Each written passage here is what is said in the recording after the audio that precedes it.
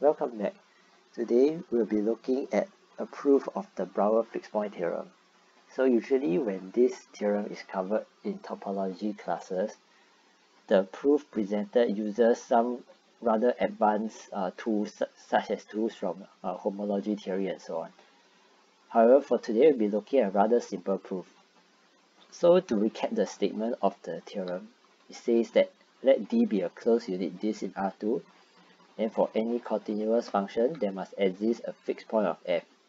So uh, right from the onset I'm going to say that this video assumes basic analysis in uh, basic knowledge in analysis and topology.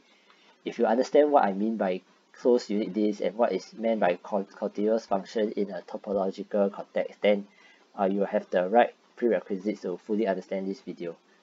Nonetheless, if you would just like to take a look and appreciate what undergraduate mathematics is about, uh, feel free to keep watching the video as well. This video also assumes that uh, you have seen the previous video on Sperner's lemma, which is a simple combinatorial lemma that we'll be using in this video. So rather than proving the fixed point theorem for the closed unit disk, we are going to prove it for the isosceles right angle triangle uh, indicated here where the hypotenuse is parallel to the x-axis. We can do this because this triangle is homeomorphic to the closed unit disk. And the way we'll do it is to prove by contradiction. So we'll assume on the contrary that we can find a continuous function from the triangle to itself with no fixed point. Okay, so for the proof, we are going to fix k uh, an integer that is at least 2 and consider a triangulation of the the parent triangle into k square smaller triangles using the method shown. So you can generalize this for arbitrary k. This is the diagram for k equals 4. And what we are going to do is we are going to specify how we're going to color the vertices because we need this to apply Sperner's lemma. So to do this, we are going to look at an auxiliary function g which is given by uh, g of p equals to fp minus p. So you can imagine this as like a little arrow from the point, uh, drawing from the point to where the point has been displaced to under the function f. So since f is continuous, we, we conclude that g is also con continuous, and by hypothesis that uh, there's, there are no fixed point, g is never equal to the vector 0, 0 and at each vertex we are going to color the vertex based on where the arrow points. So if the arrow points with a strictly negative y value we will color the vertex blue. If the arrow points uh, with non-negative y but strictly negative x we will color it red and if the error lies in this area which is uh, non-negative y value and non-negative x value we will color the vertex green.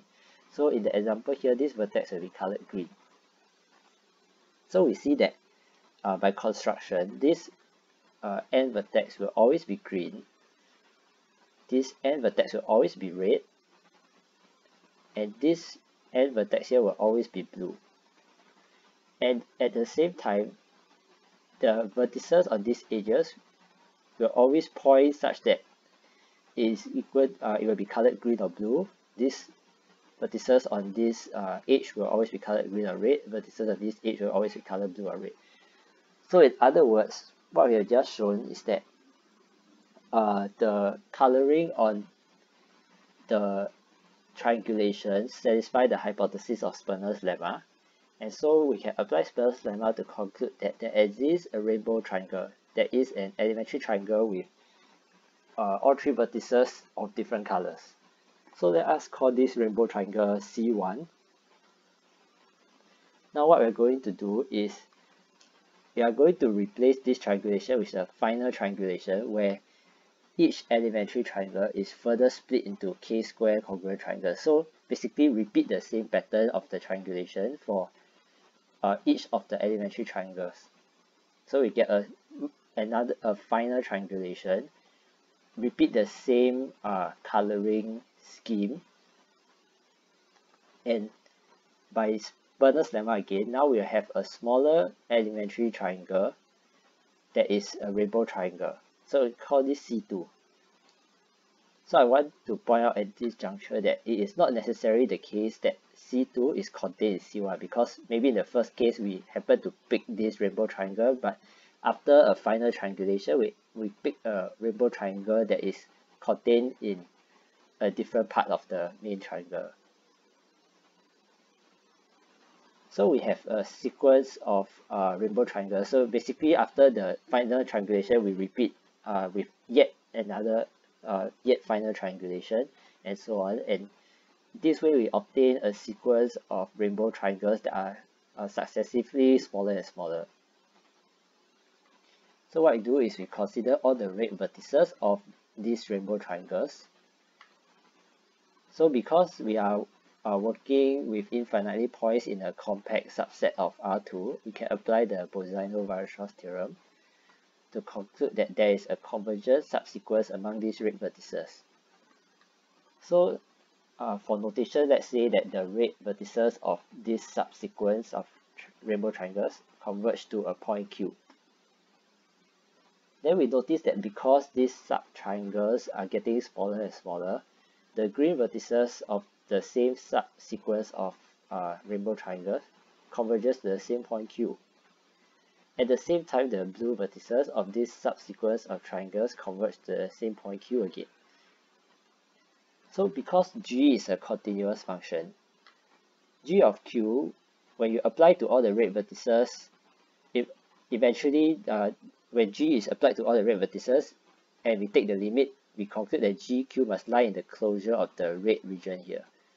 And similarly, when we apply g to all the green vertices and take the limit, we realize that g of q must lie in the green region here. And lastly, again, when you apply g to all the blue vertices here uh, and take the limit, then g must lie, g of q must lie in the closure of this blue region. So this means that g of q can only be the intersection, can only lie in the intersection of the closure of this three region, which is the point zero zero. But we assume that g of q is never zero zero. So this gives us the required contradiction. So that's all for this video. I think uh, this proof of the Brouwer's fixed point theorem is quite elegant and much simpler than the use of uh, com complicated tools from uh, more advanced topology. So hope you enjoy it and see you soon.